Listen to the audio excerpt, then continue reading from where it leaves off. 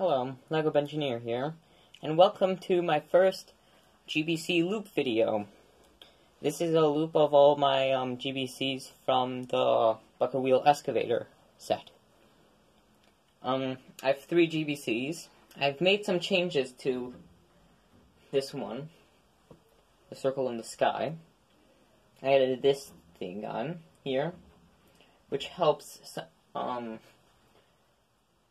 so the balls don't um, fall off because they started falling off sometimes when they came here. Now they now they um don't fall off as much. Um, the other two have not changed. I don't believe. I also changed the. I also changed the entrance so it's um puts le puts puts less stress on the motor.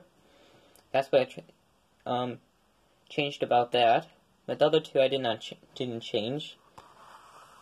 Here is this portion where my quadruple stepper goes into the inverted conveyor belt, which you cannot see the inside of at the moment.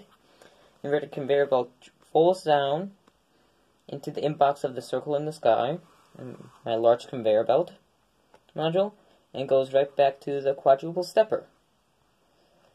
And that is my loop for now. I forgot to add the motors. Give me a second. Okay, I'm back with the battery boxes in place. I'm, I think I said motors, but I'm back with the battery boxes. So I got all four hooked up now. And now we can see it in action. I have 50 bolts here to put in the in the loop. I'll run it for a little bit and then and then that will be the video.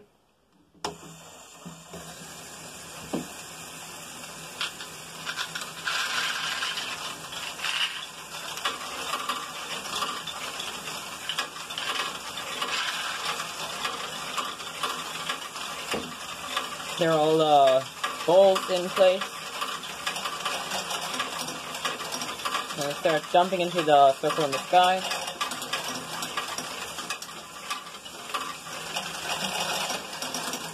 Which will recirculate.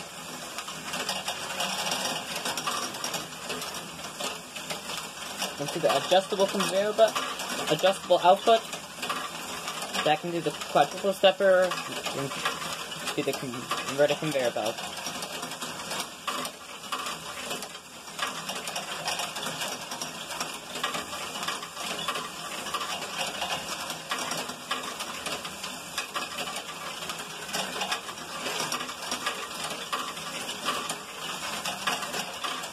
Yep.